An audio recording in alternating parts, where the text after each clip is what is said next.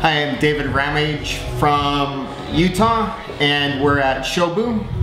And when I first came into Shobu, I wasn't sure what to expect because it's in a part of town that um, used to be, well, it's in a part of town that I used to live in this area and so I didn't know that any restaurants like this were here because they're just opening.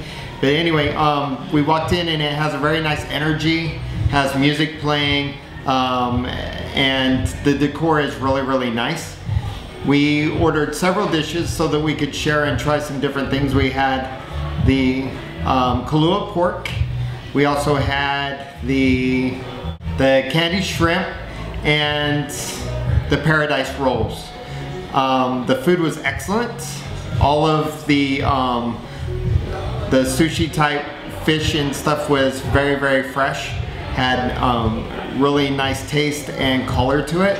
And we topped off with a traditional dessert and it was a type of ice cream and we actually got three different kinds and it was um, cut up very nicely so that we could share.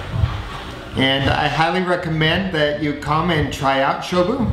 And it's really easy to find. It's on Decatur, on the corner of Decatur and Twain and I highly recommend it. On a scale of 1 to 5, I would give it a 5.